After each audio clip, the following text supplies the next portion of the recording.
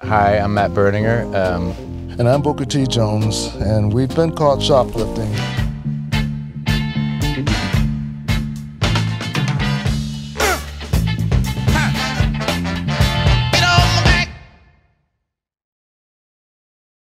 I was uh, just apprehended by this this person here while I was stealing his record. Uh, this is Booker T and the MGs, um, which I took from um, a stash, and then you, Booker, busted me. What did you get? I got uh, James Booker from New Orleans. I want one for the. Mac Rebennack was one of his fans and turned me on to this guy. Mac Rebennack is Dr. John, who's also a keyboard player and uh, Hammond organ player, and this is one of the original uh, classical music and jazz music uh, guys that uh, was imitated by so many New Orleans bands, uh, including the Meters and uh, sometimes Booker T and the MGs. So that's that's I took this one. Wow. Who's better at, at the uh, Hammond B3? Who's better?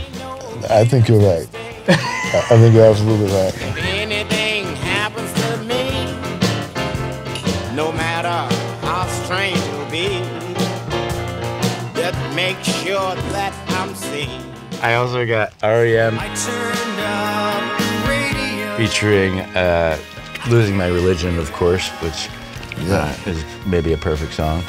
Um, also, uh, KRS-One is on Radio Song. When REM started breaking the mold of who REM was or what REM was, uh, this was a big part of that. This this is Stax Country. She was soft as a whisper.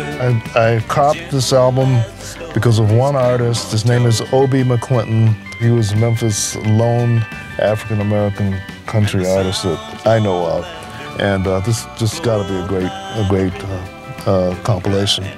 who was Stax Country. That, And his name is Obie McClinton. Obie McClinton. Yeah, he's passed away now, but what a song. How many black country musicians? Uh, the Lou Rawls. I'm trying to think of. Um, I mean, which, like Ray Charles. Is it, This is him. This is that's him. the one of them. Yeah, that's the, that's the one. I couldn't buy her fancy clothes, give her cars and vacations. I'm gonna get in trouble the if I think I'm falling.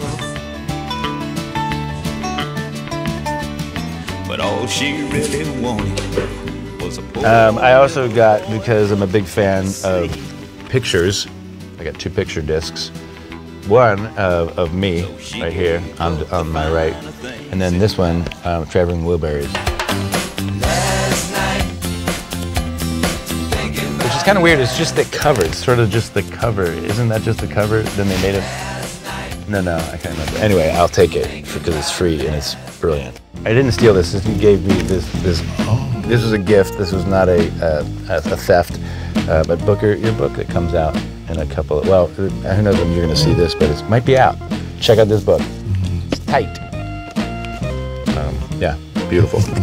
That's what. Oh, look at this one. This one is Miles. This is on Prestige.